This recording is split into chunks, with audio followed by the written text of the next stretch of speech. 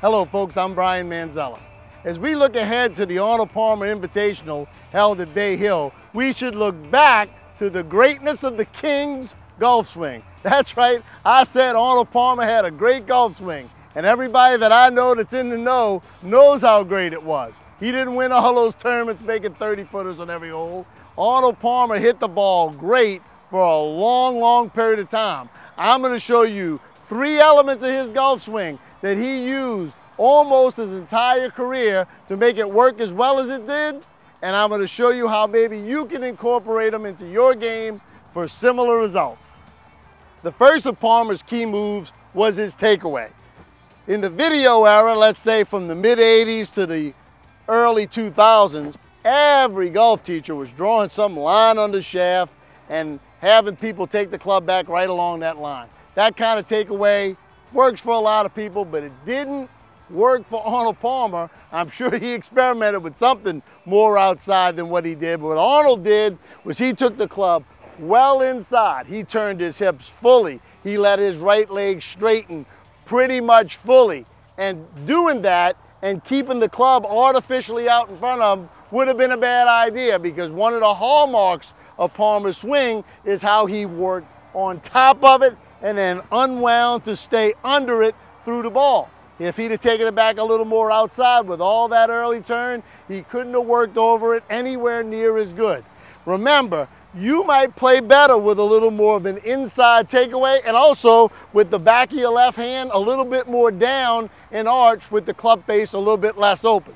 The second move that Palmer made that I think is awesome, very athletic, is the move he made from the top of the swing separating his thigh, his left thigh and his left hip from his torso. Let me show you how he did it. So from the top of his swing, where he had massive hip turn and massive shoulder turn and a bunch of left thigh movement, while his club was still at the top of the swing, he separated this left hip and left knee and left thigh from his torso. You'll see his club at the top of the swing and you'll see how all of this separated really creating a strong position and enough early pelvis speed that he could then, when his left arm was about parallel to the ground in the downswing, start accelerating his torso on top of that.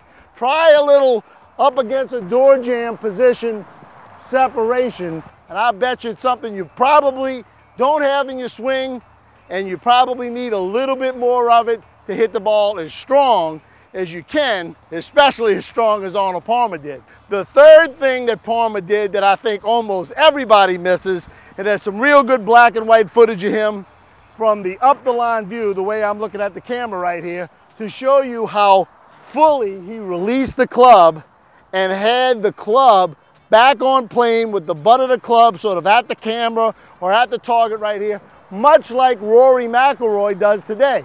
What everybody sees though is Arnold Palmer's little helicopter move at the end. No, Palmer had a full release.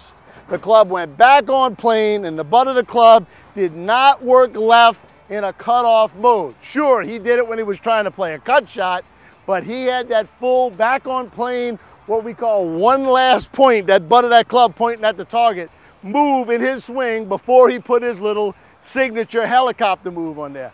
I promise you that if you work these three things in your golf swing, take the club back as inside as you need to to be strong and on top of it on the downswing, separate that lower body from the upper body in the transition and fully release that club back on the plane, you're gonna be thrilled with the results and you're gonna be able to hit it hard and strong just like the king.